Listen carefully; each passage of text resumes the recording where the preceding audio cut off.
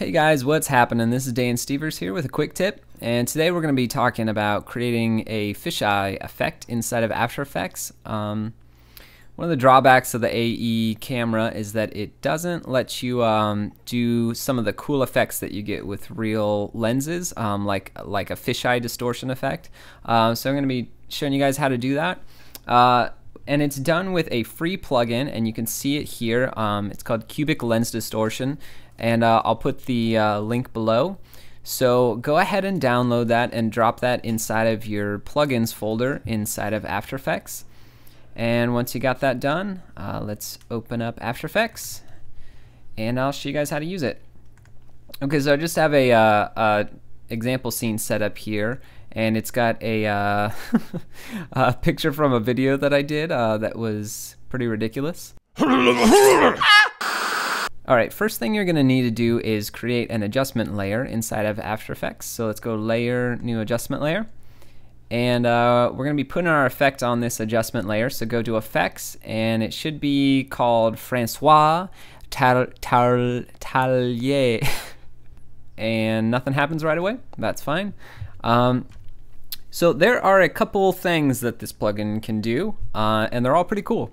Uh, the first thing it can do is it's called chromatic aberration. And uh, what this is, it's, it's kind of like the colors tear apart as they get to the outside of the screen.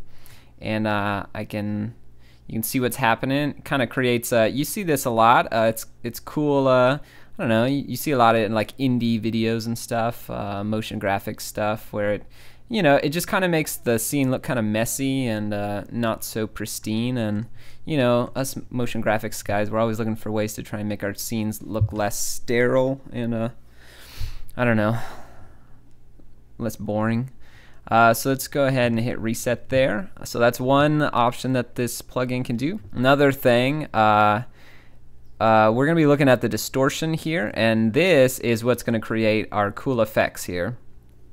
So the first effect we'll do, we'll pull it negative right here. I'll pull it to like, I don't know, negative 0.05 there.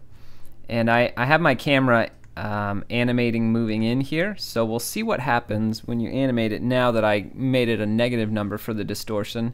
As things uh, get to the edges here, it kind of like pulls things apart. Um, and it looks really cool. It's a it kind of makes it look like your environment is uh, spherical, like it's kind of wrapping around the camera, and that's a pretty cool look. Um, so that's one option uh, of a way to make make things look cool. Let's hit reset again. Now let's drag it the other way. So now if I drag it in the positive, and I'll go 0.05, uh, maybe like 0.07. Uh, now we're getting this uh, this fisheye look here. And I have another camera move that's going to show what's happening here a little bit better. Uh, but you'll notice that it, it, crops in on our edges here. That's pretty easy to handle. You can do it right inside of the plugin here. You can just go to the scale option and scale it up. And uh, if you, you, there's another way we can get rid of this edge here, and that's to just select our photo that we got here and just go to stylize, go to motion tile, hit mirror edges and then put your output width to something like 130 there you go and uh, just got rid of the edges there. Well we almost got rid of the edges. Uh, okay. So uh, there you go we're taking care of that. So let's do a quick render and see how that looks. Uh, so this is the fisheye effect that uh, I was talking about and that we're going for.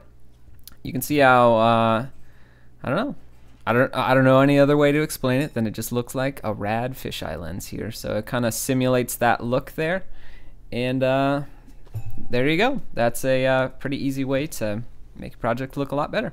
Hope that was helpful, guys, and I'll see you next time.